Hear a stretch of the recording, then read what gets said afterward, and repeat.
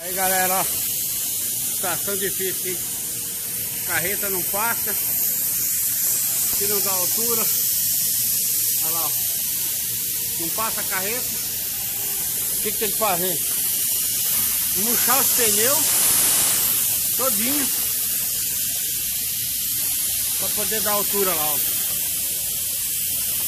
Tô esvaziando os pneus. Porque a carreta não passa lá, ó.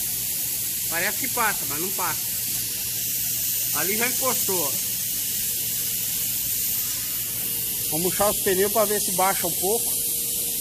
Para tentar subir aí. Senão não dá de descarregar a carga. Clientinho. Entreguinha foda essa. Faz parte, né? Tem que dar um jeito.